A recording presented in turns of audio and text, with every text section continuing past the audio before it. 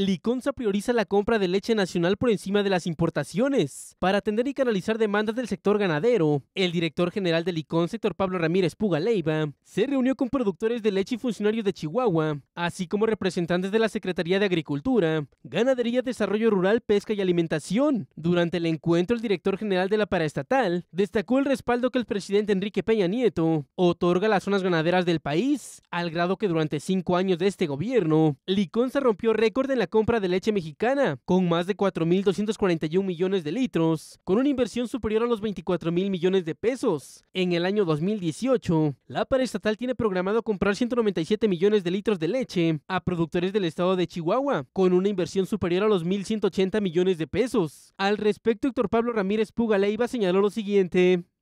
Esta administración del presidente Peña Nieto hemos comprado el mayor número de litros eh, de leche a productores mexicanos. Antes se prefería comprar vía las importaciones y hoy estamos apostándole al ganadero mexicano.